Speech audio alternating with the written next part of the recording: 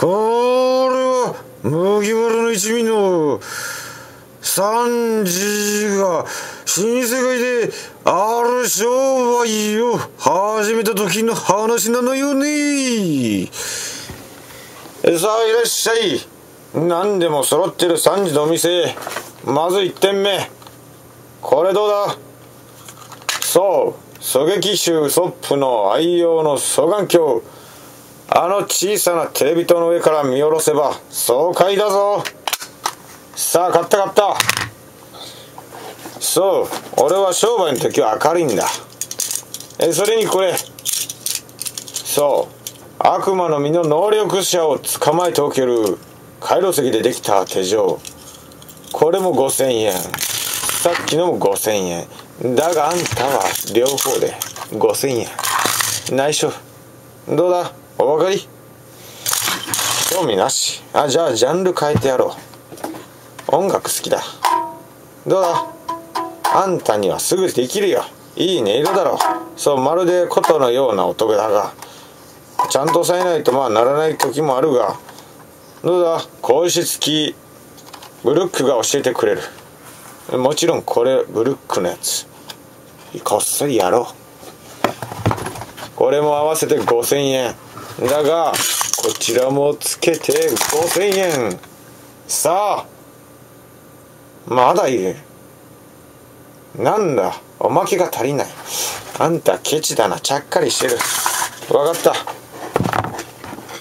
それじゃあケチなあんたにいいものがある。お金が増えるお皿。ただのプラスチックのお皿なわけがない。こちらに置くぞ。今は空だ。これを100円を乗せて置く。手は何もない。そして蓋をして持つ。なないぞ。それでひっくり返せばどうだ？2枚になってる。お金がいくらでも増えるんだ。これ内緒だ。ルフィもナミさんも知らない。これは俺の。わかるか？1点2点。3点4点え、そして5点どうだ？全部入ってるぞ。これで5000円ナミさんは知らない。どうだ？5000円で。誰がこのギター100円で売ってるっつってやつは3枚におろすぞ。これはブルックのだ。プロ仕様。100円で売ってるわけがない。お分かり？後ろの声は気にするな。100円で売ってねえこの野郎。分かったあんた。俺の部下にしてやる。どうだ？パイレーツセット。しかも新品。開けてない。もちろん。6歳以上。あんたなら使える。そうすぐ使いこなせる。この6点で5000円。100円ショップじゃない。ああ。逃げるな。分かった。